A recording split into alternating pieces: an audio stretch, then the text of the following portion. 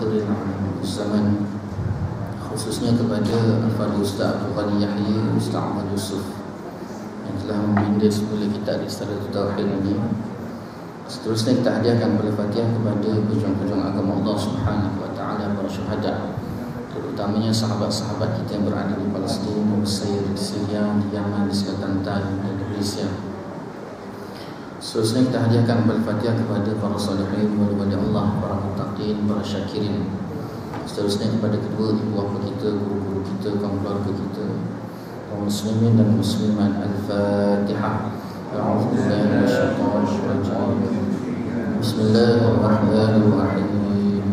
Alhamdulillahi rabbil alamin.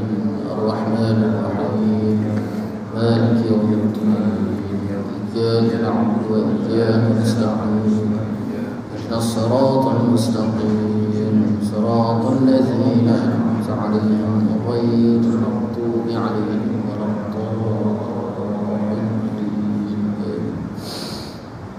InsyaAllah tuan-tuan untuk menambah baik lagi majlis kita pada malam ini Marilah sama-sama kita berselawat ke atas Nabi Sallallahu Alaihi Wasallam Semoga dengan kita berselawat ke atas Nabi sallallahu alaihi wasallam Allah Subhanahu wa taala memberkati lagi, merahmati, meridai dan lebih-lebih lagi mengampuni segala dosa kita insya-Allah. Allahumma salli ala sayyidina Muhammadin nabi ummi wa ala alihi wa sahbihi wa barik wa sallim. اللهم صل على سيدنا محمد النبي أمه وعلى آله وصحبه وبارك وسلم اللهم صل على سيدنا محمد النبي أمه وعلى آله وصحبه وبارك وسلم. اللهم صل على سيدنا محمد النبي أمه وعلى آله وصحبه وبارك وسلم. اللهم صل على سيدنا محمد النبي الأمي وعلى آله وصحبه وبارك وسلم. اللهم صل على سيدنا محمد النبي الأمي وعلى آله وصحبه وبارك وسلم. اللهم صل على سيدنا محمد النبي الأمي وعلى آله وصحبه وبارك وسلم. اللهم صل على سيدنا محمد النبي الأمي وعلى آله وصحبه وبارك وسلم. اللهم على سيدنا محمد النبي الأمي وعلى آله وصحبه وبارك وسلم. اللهم صل على سيدنا محمد النبي الأمي وعلى آله وصحبه وبارك وسلم. اللهم صل على سيدنا محمد النبي أمه وعلى آله وصحبه وبارك وسلم. بسم الله الرحمن الرحيم. الحمد لله رب العالمين. وبه نستعين على أمور الدنيا والدين.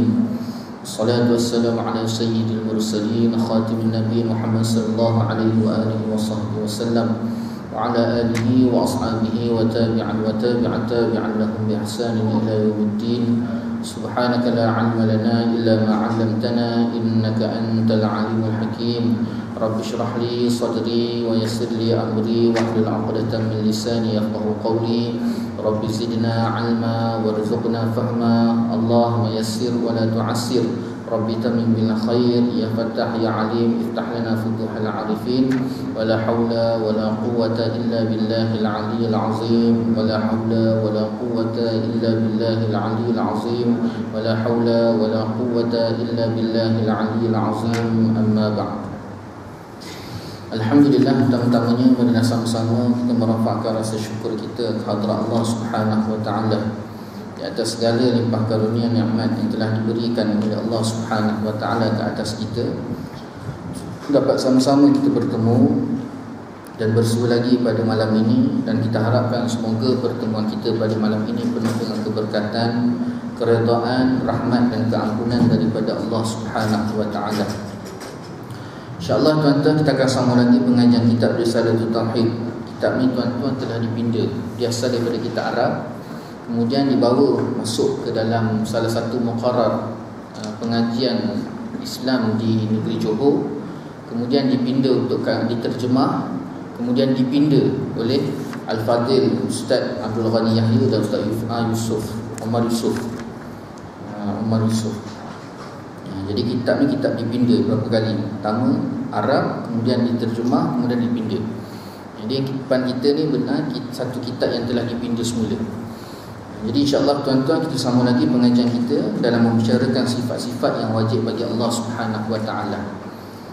Ke surat? Ke surat 18 Yamuhu Ta'ala binafsi. Betul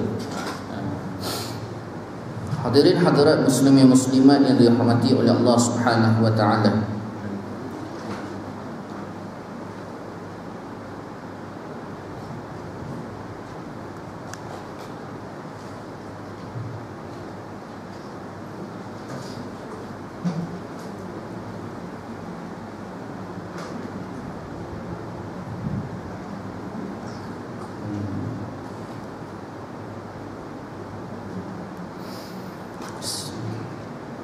Syekh menyambung lagi kata-kata beliau yang kelima Sifat yang kelima yang wajib bagi Allah subhanahu wa ta'ala Iaitu qiyamuhu ta'ala binafsih Qiyamuhu ta'ala binafsih Artinya berdiri Allah dengan sendirinya. Bersendirian. Tidak berkehendak kepada tempat. Tidak berkehendak kepada tempat berdiri Iaitu zat dan tiada berkehendak kepada yang menjadikan dia. Maka hakikatnya ibarat daripada menafikan Allah Ta'ala berkehendak kepada tempat berdiri dan kepada yang menjadikan dia. Tegasnya Allah Ta'ala itu terkaya dan tiada berhajat kepada sesuatu sama ada pada perbuatannya ataupun hukumannya Tuhan menjadikan tiap-tiap suatu dan mengadakan undang-undang semuanya untuk faedah. Tetapi Tuhan menjadikan tiap-tiap sesuatu dan mengadakan undang-undang semuanya untuk faedah dan muslihah. Yang kembali kepada sekian makhluk dan ia menjadikan semata-mata kerana kelebihannya dan belas kasihannya bukan sekali-kali kerana berhajat kepada faedah. Ha, kita berhenti situ. Hadirin hadirat muslimin muslimat yang dirahmati oleh Allah Subhanahu wa taala. Ha, sifat yang wajib bagi Allah Subhanahu wa taala yang kelima iaitu qiyamuhu ta'ala bi nafsi. Ha, yang bererti Allah taala itu berdiri dengan sendirinya. Ha, Allah taala berdiri dengan sendirinya. Di sini ulama mentafsirkan ataupun mengertikan kepada dua perkara. Yang pertama maksud dengan qiyamuhu ta'ala binafsih ini berdiri Allah Taala dengan sendiri pertama sekali maksudnya Allah Taala itu berdiri tidak berhajat kepada sesuatu yang lain. Ha, itu maksudnya. Allah Taala itu berdiri tidak berhajat kepada sesuatu yang yang lain. Ha, apa maksud sesuatu yang lain? Manusia bila tak bila ketika mana dia berdiri ha, ketika itu dia berhajat kepada sesuatu perkara yang lah, yang lain. Kita nak berdiri tuan-tuan apa perkara yang kita perlukan? Apa benda yang kita perlukan tuan-tuan?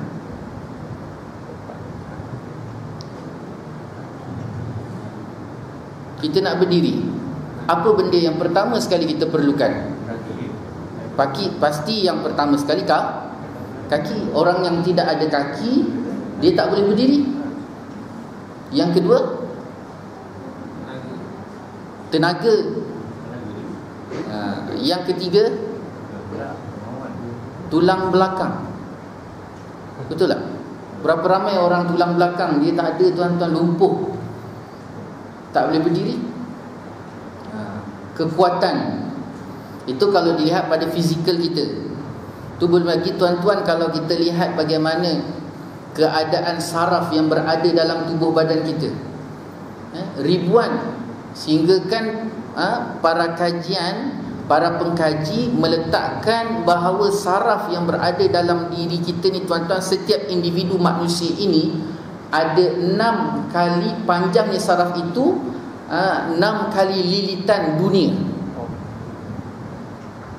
Saraf yang ada dalam badan kita ni tuan-tuan yang kita duk gerak-gerak ni tuan-tuan kan.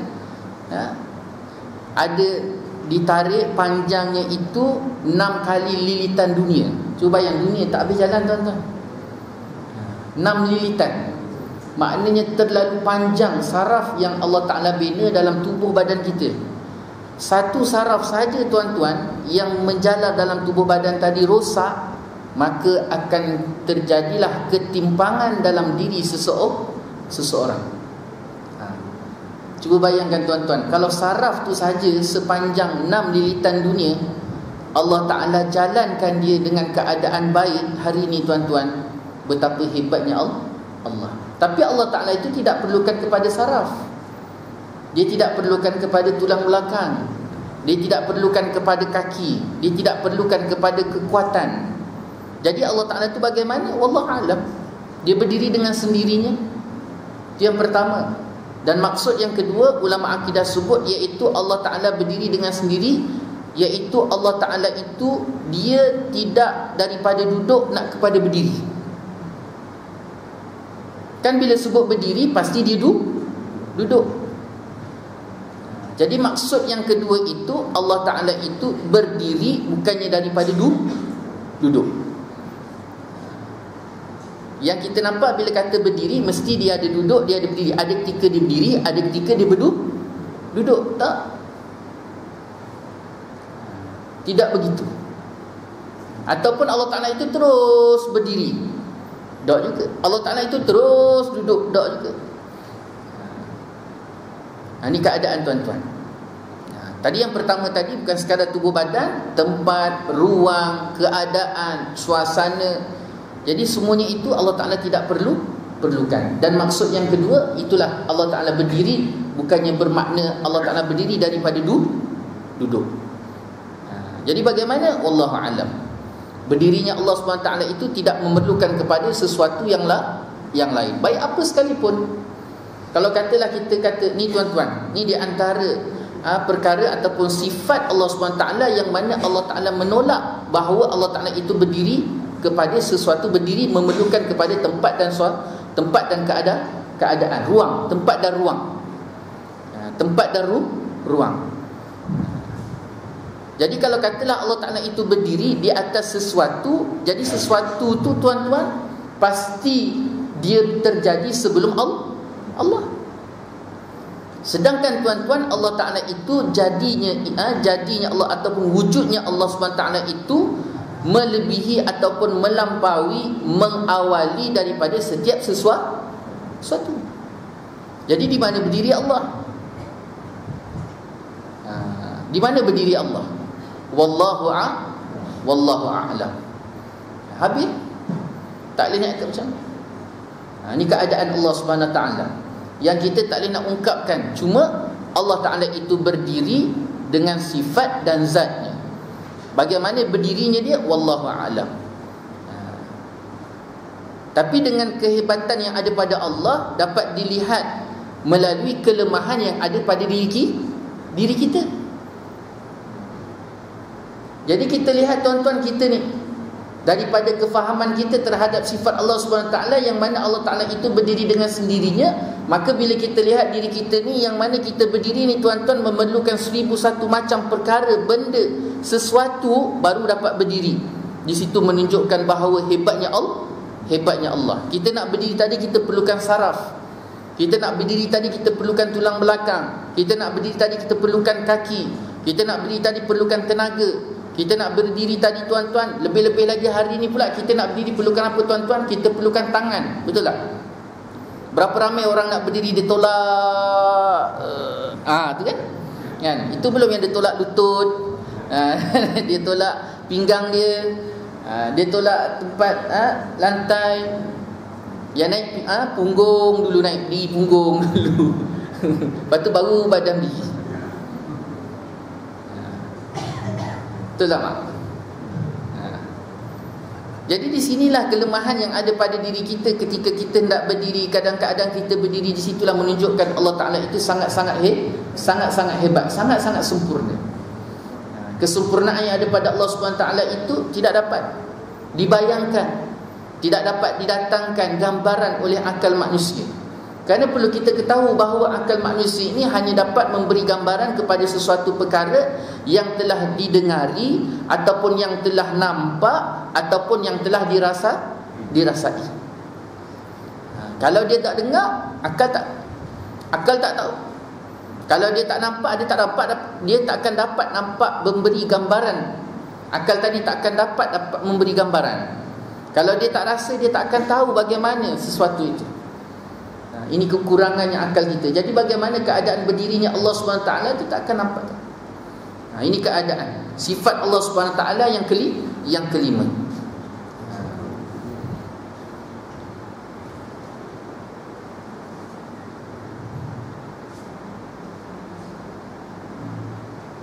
Maka hakikatnya ibarat daripada menafikan Allah Ta'ala berkehendak kepada tempat berdiri kepada tempat berdiri dan kepada yang menjadikannya tegasnya Allah Taala itu terkaya dan tiada berhajat kepada sesuatu sama ada pada perbuatannya ataupun ha, hukumannya ha.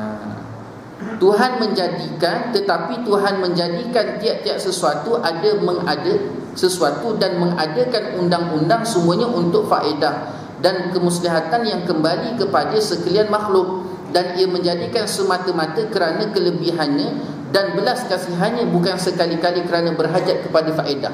Jadi daripada kata-kata sifat qiyamuhu binafsih ini, qiyamuhu ta'ala binafsih inilah yang memberikan gambaran kepada kita pertama sekali Allah Taala menafikan bahawa berdirinya Allah Subhanahu Taala itu berhajat kepada sesuatu sesuatu. Pertama, yang kedua tuan-tuan dikaitkan juga dengan perkataan qiyamuhu ta'ala binafsi ini terhadap terhadap setiap sesuatu perkara yang Allah Taala jadikan. Ini menunjukkan bahawa Allah Taala menjadikan sesuatu itu pertama sekali Allah Taala tidak memerlukan sesuatu sesuatu. Allah Taala jadikan sesuatu itu tidak perlukan sesuatu. Kita tuan-tuan nak buat sesuatu benda, contoh. Katalah malam ni tuan-tuan kita nak masak mi goreng. Roti canai. Kan? Mak malam ni nguli roti canai. Abah bakar roti canai. Goreng roti canai. Jadi tuan-tuan bila kita nak buat roti canai saja tuan-tuan Apa yang ada dalam kepala kita? Pertama sekali nak tak nak Tak ada manusia dalam dunia ni tuan-tuan. Dia buat roti canai tiba-tiba dia buat. Mesti perkara pertama sekali tuan-tuan Pertama sekali Mesti dia bela belajar. Sama ada belajar itu dengan cara mendengar Dengan cara melihat Ataupun dengan cara Bertanya tak ada manusia, oh saya nak buat roti canai, dia tak pernah tengok roti canai, tiba-tiba dia buat roti canai. Bila orang tanya ni apa benda, ni nama dia roti canai. Tak, tak ada. Maknanya diperlukan kepada pengetahuan, pengetahuan tentang roti canai. Baru dia boleh buat roti canai. Itu yang pertama sekali. Manusia tuan-tuan. Yang kedua, dia nak buat roti canai, diperlukan benda-benda bahan-bahan untuk membuat roti canai tadi.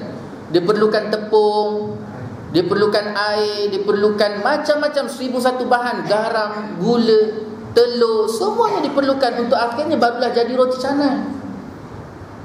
Dia kemudian pula tuan-tuan bahan-bahan tu bila dah ada, dia perlukan kepada dua tangan untuk diusahakan ulinya di ditebanya tuan-tuan. Maknanya berapa banyak benda perkara yang diperlukan untuk mengadakan sekeping roti canai tuan-tuan terlalu banyak penghantaraan sesuatu benda dan sesuatu perkara untuk mengadakan suatu sekeping roti canai. Tapi Allah Taala itu tak perlu. Allah Taala itu tak perlu nak belajar. Tak perlu nak diajar. Tak perlu kepada bahan. Tak perlu kepada usaha. Manusia wajib usaha tuan-tuan. Ada orang tak usaha tuan-tuan. Cuba ayah balik itu. Bah, abah balik nanti Balik-balik rumah Order Nasi ayam malam ni Apa yang dapat? Mak bagi apa mak? Balik-balik buka pintu Ya ya Aku nak makan nasi ayam Dapat nasi ayam? Dapat? Ni nampak bang? Betul tak bang? Datang-datang memain order-order pula kita suruh pergi pasar petang tadi Dia tak pergi Malam ni dia tanya nasi ayam Suka hati dia ha, macam tu. Itu pun tuan-tuan Kalau balik nanti tiba-tiba Eh abang baru niat ya. Abang baru niat nak makan nasi ayam Awak dah masak nasi ayam Ustaz Assalamualaikum Ustaz tengok Ustaz Saya dapat, saya niat je dapat nasi ayam. Tapi yang ada pun nasi ayam tu isteri kita mak masak. Kalau dia tak masak, dia pergi beli kat kedai mamak depan tu. Maknanya masih lagi ada usaha tuan-tuan. Tak ada. Tak ada satu-satu perkara yang kita nak kita hendak kehendaki ataupun kita nakkan tuan-tuan yang mana nak je jadi. Ya Allah Taala datangkan dalam Quran kun fayat kun fayakun. Itu pun ulama akidah sebut tuan-tuan perkataan kun fayakun itu hanya sekadar gambaran. Allah Ta'ala nak berikan gambaran kepada kita bahawa sepantas itu, semudah itu bagi hak Allah untuk menjadikan sesuatu perkara. Perkataan kun jadi, maka jadi. Jangan tuan-tuan nampak gambaran Allah Ta'ala datangkan dalam Al-Quran perkataan kun fayakun. Jadi maka jadi. Sama seperti ahli sihir yang pegang kayu dia. Pak jadi. Pak jadi. Pak jadi. Tak. Ahli sihir tu dia nak buat satu benda. Dia pegang kayu sihir dia tuan-tuan. Pak jadi. Dia perlukan kayu sihir kayu dia. Kalau tak ada kayu tak ada. Tak Allah Ta'ala tak. Ulama sebut kun fayakun itu hanya sekadar gambaran. Yang diberikan oleh Allah SWT kepada kita betapa mudahnya bagi Allah untuk menjadikan sesuatu perkara perkara. Kalau tidak ada kun fayakun pun boleh jadi. Cuma sekadar gambaran. Ha, ini dia tuan-tuan. Itu sebab Allah Ta'ala nak jadikan sesuatu benda itu tidak memerlukan kepada perancangan tak ada. Tapi Allah Ta'ala merancang. Allah Ta'ala merancang Allah Ta'ala nak jadikan sesuatu itu tuan-tuan tidak perlukan kepada ikhtiar Tidak perlukan kepada bahan. Tapi Allah Ta'ala masih juga menjadikan sesuatu itu kepada sebab dan musab Sebab. Allah Ta'ala jadikan Adam. Kenapa Nabi para malaikat itu diceritakan berulang alik naik langit ke bumi Turun ke bumi. Daripada mula malaikat Jibril sendiri yang turun ke bumi Hendak mengambil ha, bahagian sebahagian daripada tanah bumi itu Bawa ke langit tuan-tuan Untuk dijadikan Nabi Allah Adam. Tapi bumi kata tak boleh